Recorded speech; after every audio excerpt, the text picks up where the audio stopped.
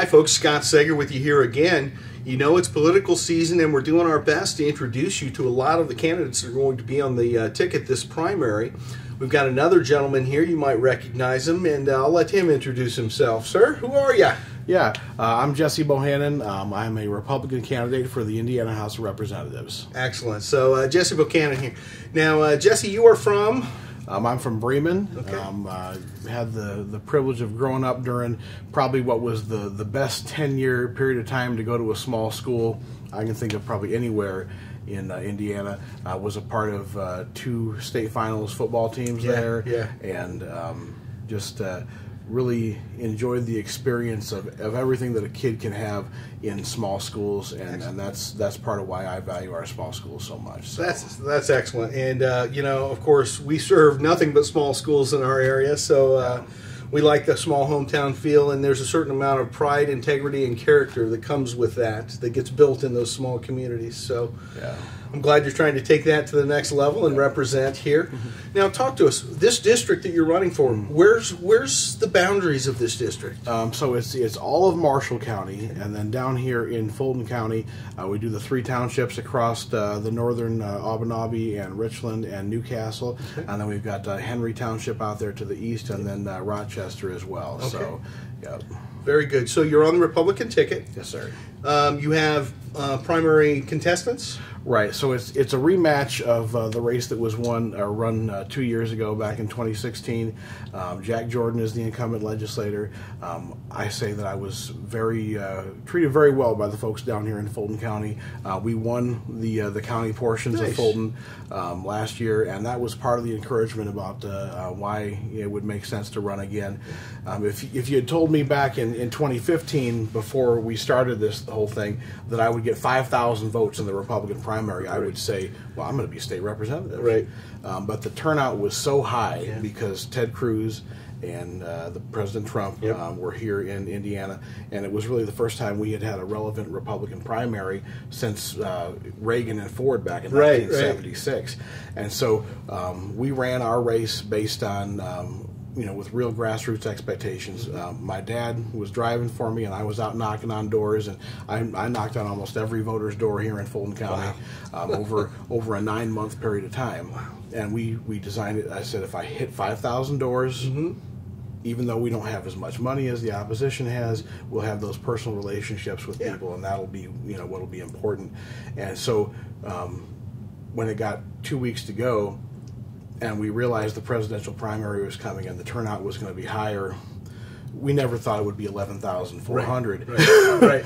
And so um, the the hypothesis was, um, let's try it again this year. Um, because of you know some of the concerns that I heard from local folks about that they weren't getting the representation that they wanted, that um, the tax and fee increases that went through you know weren't what they had voted for, um, and so I thought that I probably had the best chance of anybody in the district um, to uh, to bring some uh, some fresh blood into the, into the General Assembly, um, and so we're just hoping that the turnout is more favorable for us this year because of you know all the folks that we did make relationships with two years ago. Well, that's great. You've had Yeah. great numbers in Fulton County. That's fantastic.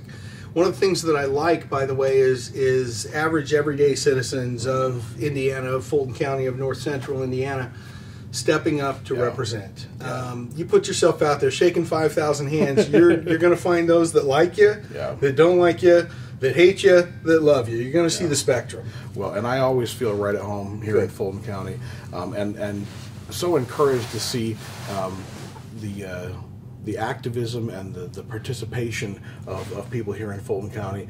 Um, I had heard back in the fall um, all of the controversy surrounding the wind farms down here, and I went down to the meeting in uh, um, in Fulton. Yeah, I was in Fulton, and I had never seen that many people show up for a, a, a public meeting before. I grew up um, before we moved to Bremen when I was in high school. We lived up in St. Joe County. Okay. and so I was a part of the original activist groups back in the early '90s, fighting local income taxes, fighting gun control, things like that in a Democrat county. Mm-hmm. And even in a county with you know with almost uh, 200,000 people in it, like St. Joe County has, I had never seen turnout like what we saw in, in Fulton back in the fall. So I, that excites me that, that Fulton County's got uh, such uh, great uh, participation in its politics. So. Well, I think we do. I'll tell you, we've we've gone out, and I know you've seen it here on Channel Four, folks, where we've done the legislative breakfast hosted by the Chamber of. Yep. Commerce. And the crowds to those at seven o'clock in the morning Yeah. on a Saturday are amazing. And I, I know that the representatives who've been to those meetings um, comment on how well attended they are here in Fulton County. So that's great. Let's talk about your platform a little Yeah. bit. Um, you know, what do you stand for? What are you fighting for on behalf of the Hoosiers here? Yeah. So I think one of the things I've learned watching the General Assembly over the last um, six or seven years is that you never know what it is that you're going to get into when you get down there. You think you know what the agenda is going to be, um, and something will come up. And so I think the most important thing that a legislator takes with them is a set of solid principles. Yeah. Um, and so um, the number one issue for me, which which should be, I think, the number one issue for, for every Republican, is is the right to life, and um, that's uh, one of the bills I plan on uh, working on uh, next session. Okay. Uh, Curt Nisly, the state rep uh, over in uh, Kosciusko County, has uh, put forward a uh, protection of conception bill the last couple of sessions, Okay. and I want to do what I can to, to help him uh, get that to the floor and get a vote. Um, and uh, then our other rights, the uh, the right to keep and bear arms, and uh, right to privacy, uh, parental rights, things like that. We always have to keep those things front of mind because. Um, there's going to be a lot of stuff coming from lobbyists and coming from other people in Indianapolis that want to distract us. If we stay focused on the fundamentals, we'll we'll make right decisions. Gotcha. Um, but also, as I said earlier, our small schools. I think um, there's a culture in Indianapolis that wants to make the state like Indianapolis. Um, they want to put J turns in on our highways, and they want to make sure people can get from South Bend to Indy and from South Bend to Fort Wayne as quick as possible.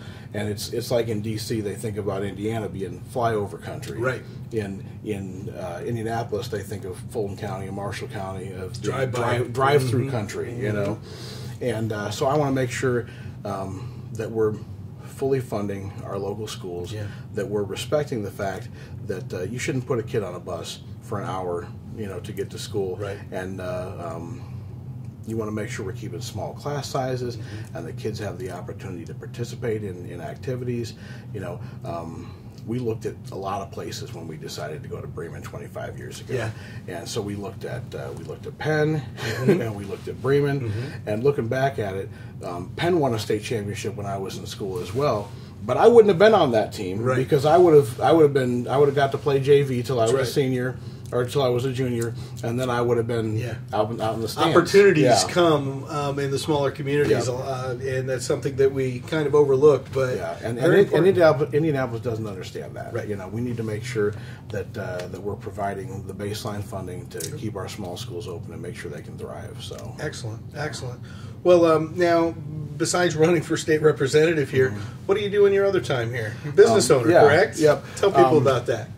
I have had uh, a tremendous blessing to be able to partner with our former state representative Tim Harman, who Okay. did such a great job uh, for us for four years. Um, he founded the Bourbon Street Pizza franchise uh, several years ago, and uh, I've been working with him for the last four years. Um, and right now, I am the operating partner at our store in Argos Okay. and our store in Culver. Okay. And um, both of those are fantastic communities, and uh, I, we actually serve folks from uh, Fulton County Yeah. uh, very often. We get a lot of people from Rochester drive up Old 31 and, and Go up to through. Argos and grab it. So I, I see a lot of zebra gear in That's there on, uh, on Friday and Saturday nights, and, and we love uh, having folks from Fulton County up in our restaurant. Well, that's so. a lot of fun. Now you have one of those Bourbon Street pizzas in uh, Mentone, Yeah. Bremen, Argos, Culver. Uh, we're not in Bremen yet. You're not in Bremen. Uh, we're in Bourbon. Bourbon. Uh, yeah, Bourbon, Culver, Plymouth, Argos, Mentone, Nappanee, North Webster. Uh, yeah, just the seven right now. That's great. And actually, we're going to open in South Bend uh, coming up next year. That's so, fantastic. Maybe yeah. we can talk them into coming down here in Rochester. but uh, it's good pizza, folks. If you've not been up to Argos or Bourbon or any of these Yeah. places, make a trip. It's it's good stuff. So And we actually we actually deliver to uh, northern portions of, uh, of Richland Township as Okay. well. So if you live in Richland Center or uh, or Tiosa, uh, give us a call. We'd love to deliver to you. nice. So- Well, I might just have meet you there at one ten and uh, grab some pizza from you. But that's great. Now, tell us just a little bit about your personal life. Um, married, kids. What's the situation in your Um, life? I'm uh, I'm actually single, Okay. uh, no kids. Um, I've I've spent uh, most of my life focused on uh, on service in, in one way or the Yeah. other. So uh, did uh, um, ministry at a uh, missionary church up in uh, Nappanee. Excellent. Uh, for a number of years, working with the young adults ministry there, and uh, also uh, spent four years uh, teaching at a uh, alternative private school, working with kids that, that struggle, and those kind of things have taken up a lot of my life. Sure. And now that I'm working second shift in the food service industry, um, it's uh, you don't get a lot of personal life. So It's a lot of labor of love, Yeah, isn't it? it is. Very Um, good. but I'm, I'm currently on the school board in Bremen, Great. uh, where I graduated, and uh, um, we've. Uh, I feel really proud about the work that we've done over the last year and a half uh, there, and have learned a lot about the, the craziness about how government finance works in this state, and Yeah. some of the hoops that you have to jump through Yeah. to, to make things work, and, and so I, I understand the, the struggles that our schools face. So Oh, very good. Well, uh, folks are going to want to know more about you, Jesse. Let's tell them. Um, first of all, you I assume have a website or a Facebook or something. Um, yeah, you can uh, go to jesseforindiana.com, okay. and you can spell that anywhere you like to, and it's going to still pop. That, yep, that'll actually uh, kick you over to our Facebook page. Um, what I've learned over the years is is people like to have that kind of interaction, and mm-hmm. Facebook is really great about you know people leave you a message and it lets yeah. you know right away. Um, you can also call me. Um, I always publish my phone number on uh, on my um, printed material. So if you've gotten a letter or a postcard recently, uh, 574 220 8809 is my cell phone number. Great. And uh, I've published that every time I've run for office. and surprisingly enough, you don't get a ton of calls. Right. But I always do appreciate hearing from folks and, you know, not just those conversations at the door, but when something comes up and people have a need, you know, that's something I learned from Tim Harman is that uh, this job is not about going down to Indianapolis and casting votes and right. hanging out with important people and right. things like that. It's about taking care of individual voters when they have issues, and that's that's what I look forward to. Putting that So- cell number out there, that's accessibility, and that's what we want. That's what we need as a constituency. Is we need to be able to reach out and have access to you folks. I can't imagine uh, trying to get a personal conversation with Yeah. um, one of our national representatives. Right. You know, it's the hoopla you have to go through. So to be putting out your cell phone, Yeah. that that just kind of shows you what kind of leader you'll be. Yeah, yeah. Jackie Walorski represents uh, almost seven hundred thousand people. Exactly. As a state representative, it's sixty-five thousand. Yeah. And you know, when you look at you know who are the people that are going to reach out and have questions, it's a very manageable amount, and, and people should you know keep office hours and and be available. Um, I'm planning on um, bringing back the pizza and politics uh, lunches on Fridays. Nice. And so, um, you know, during session, we're going to do that uh, probably uh, every two weeks. I like have that. opportunity to come back and let folks come in, have some pizza, talk about what's going on in the General Assembly, and then at least quarterly, you should be, you know, even when the General Assembly's not in session, holding public events, being available for people so they can come in and share their thoughts and concerns. So, True representation, right? Excellent. Well, Yeah. Jesse Bohannon, anything else for our viewers today? Um, just, I really want to say thank you uh, to the folks of Fulton County for their great support back in 2016, uh, for the warm welcome that they've given me as I've been out knocking on doors again this year, and I would just really appreciate your vote again. Um, as always, feel free to give me a call if there's anything I can do for you. So, Excellent. Well, thank you very, very much for being here today. Folks, you know it's coming up May 8th, um, just a couple of days. so uh, be ready, get out there. Your vote does count. The primaries are, are very contested this year across both Yep. sides of the aisle. So, whatever your political affiliation, get out there and cast your vote for your representation. Jesse, again, thank you for your time Thank today. you very much. All right. We'll see you next time here on RTC TV4.